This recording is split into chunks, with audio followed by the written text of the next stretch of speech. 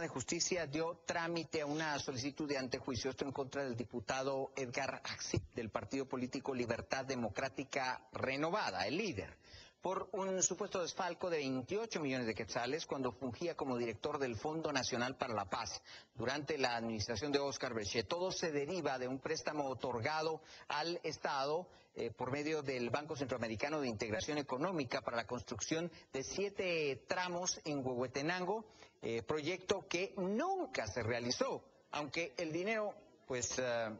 no apareció.